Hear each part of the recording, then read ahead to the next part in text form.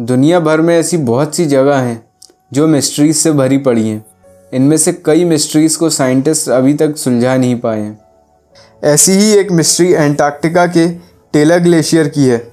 इस ग्लेशियर से बहते एक झरने से खून की तरह लाल पानी बहता है। हालाँकि साइंटिस्ट ने इस पर कई रिसर्च किए हैं, लेकिन कोई सही रिज़ल्ट नहीं निकाल पाए। तो क्या मिस्ट्री है इस वाटरफॉल की? चलिए जानते हैं।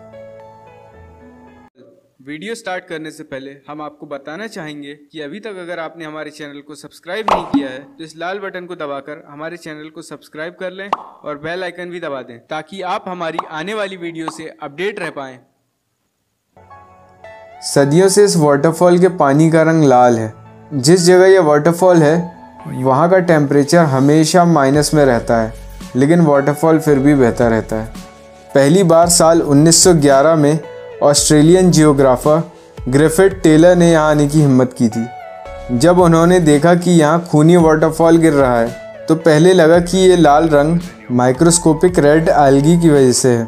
माइक्रोस्कोपिक रेड एल्गी असल में माइक्रोस्कोपिक ऑर्गेनिज्म होते हैं। मगर साल 2003 में टेलर की एल्गी वाली थ्योरी को गलत साबित कर दिया गया। नई रिसर्च में पता चला कि इस पानी में आयरन ऑक्साइड की क्वांटिटी बहुत ज़्यादा है। इसी वजह से पानी का कलर लाल हो जाता है।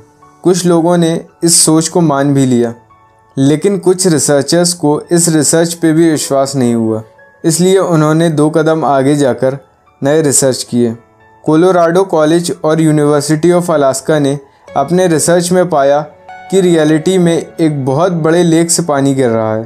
खास बात यह है कि ये लेक पिछले कई लाख सालों से बर्फ़ के नीचे दबा हुआ था। जैसे ही पानी जमना शुरू होता है, ये गर्मी छोड़ता है। ये गर्मी चारों तरफ़ की बर्फ़ को गर्म कर देती है। इस प्रोसेस की वजह से इस झरने से लगातार पानी बह रहा है। कुछ लोगों को तो यहाँ तक विश्वास है कि यहाँ पर कोई आत्मा रहती है। और इस आत्मा की वजह से ही पानी का रंग लाल है। साइंटिस्ट का कहना है कि यहाँ पानी के अंदर आयरन ऑक्साइड होता है, जो हवा के कांटेक्ट में आकर पानी को लाल कर देता है। और उनका अनुमान है कि इस जगह बर्फ़ के नीचे आयरन एलिमेंट्स बहुत ज़्यादा हैं, जो पानी को लाल रंग देते हैं। इस झरने का सच अभी भी रहस्य बना हुआ है। तो आप इस झरने के बारे में क्या कहते हैं?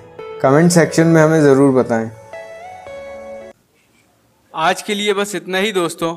उम्मीद करता हूँ आपको ये वीडियो पसंद आई होगी। अगर वीडियो पसंद आई हो तो लाइक करके शेयर कर दें और अभी तक हमारे चैनल को सब्सक्राइब नहीं किया हो तो सब्सक्राइब कर लें। मैं मिलता हूँ आपसे अगले वीडियो में।